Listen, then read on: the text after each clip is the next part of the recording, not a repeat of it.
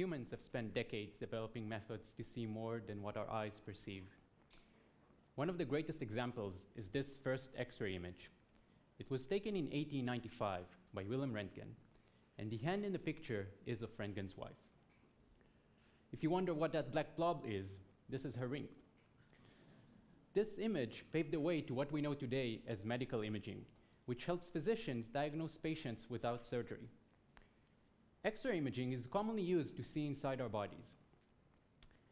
You all know about the harmful aspects of X-ray radiation, but in fact it suffers from another problem which is at least as important.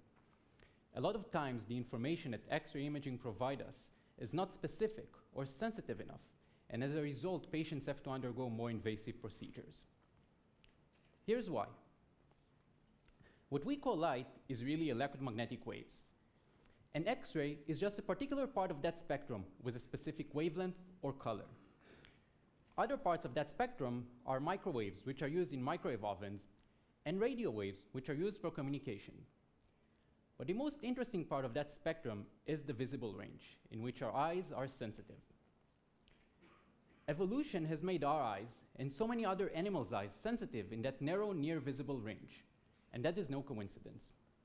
The reason is this is where there is a lot of interaction between light and matter.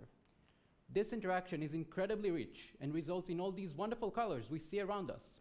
In the visible range, different materials look different from one another, unlike other parts of the spectrum, like X-ray, in which most things look alike.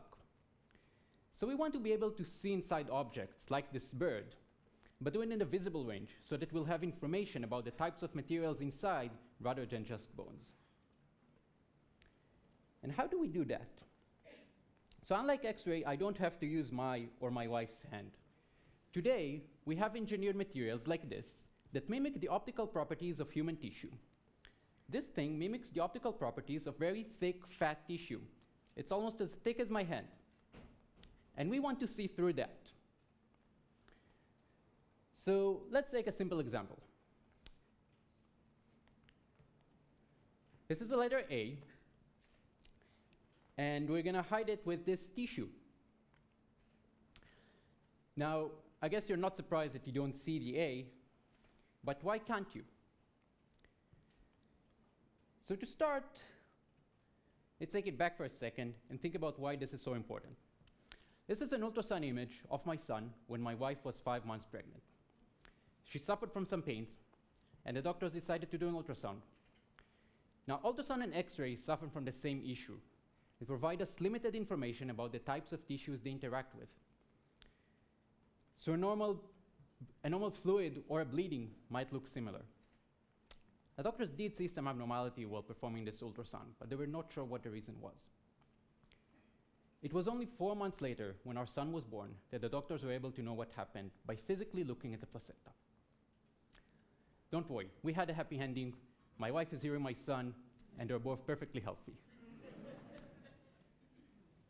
So how can we solve such problems?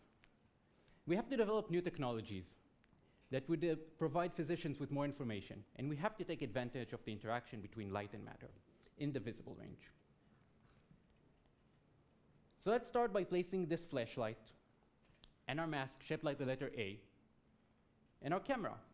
Now, cameras use lenses to focus light from the object we want to see onto their sensor, which allows them to capture a sharp image like that. Light is composed of fundamental particles we call photons, and when there is nothing in their way, they travel in a straight line from the object to the camera. If we now place our tissue between the object and the camera, the camera cannot focus on the object anymore. So what we'll see is a very blurry and distorted version of the object. This is an actual image we got while doing this experiment. Now, I told you all about the great interaction between light and matter in the visible range. Everything comes with a price. And the price of this interaction is the scattering of light. When the photons interact with the tissue, they move around, which cause them to scatter. What's really interesting about this example is that the tissue hardly absorbs anything. That means that almost all the light that goes into the tissue comes out on the other side and reaches the camera. And yet, we still cannot see through it.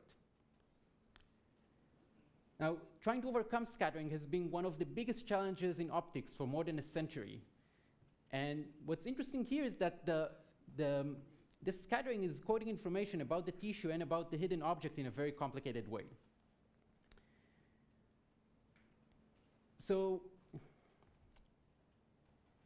so I think we're coming to a time when we might have a solution to this problem.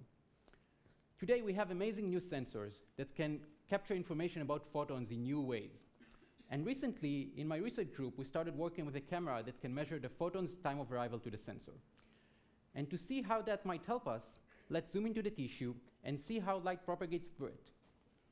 So very few photons are going to travel in a straight line. Since this is the shortest path, they arrive first. And some photons are going to scatter just a little bit, so they arrive a little later. The majority of the photons are going to scatter a lot, hundreds and thousands of times before they finally reach the sensor. Of course, they arrive much later. This information in time is very rich, and it can help us to overcome the scattering. So we actually did this experiment and used our camera to measure the photon's time of arrival to the, to the sensor. Now, since light is the fastest thing we have in our universe, we have to slow down this movie a lot. We have to slow it down by a factor of 10 billion. And this is what it looks like.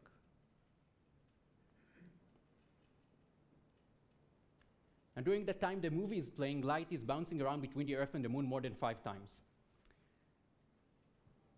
This movie is really interesting because each frame shows us photons that traveled in the tissue different path lengths. So they interacted with the tissue in a different way. This information is very, very diverse, and that diversity can help us to overcome the scattering because it allows us to distinguish between the contribution from the hidden object and from the tissue. So we actually use this intuition to write an algorithm that simultaneously evaluates the optical properties of the tissue and the hidden object. And here's the result.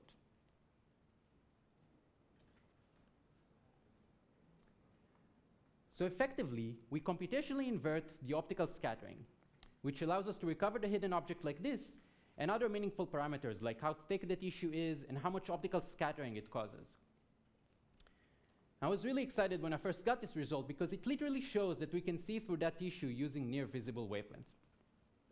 Since then, we've imaged more complicated objects through even thicker tissues. So the next time that you hold your hands to cover your eyes or to hide something, you should remember that we might be able to see through them. Uh, this is what our current hardware looks like, so it's going to take some time until we can do this.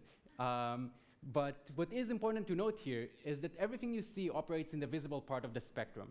That means that the same technology trends that enabled cameras in our cell phones would someday enable use new imaging techniques. In fact, photons carry an immense amount of information, and we're just starting to scratch the surface in measuring and making sense of it.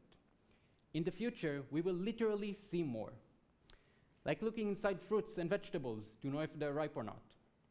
Of course, we have more serious applications, like brain imaging, seeing through clouds, and seeing through fog for autonomous driving in any weather.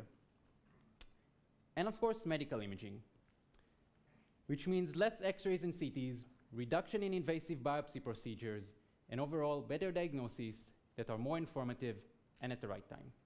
Thank you.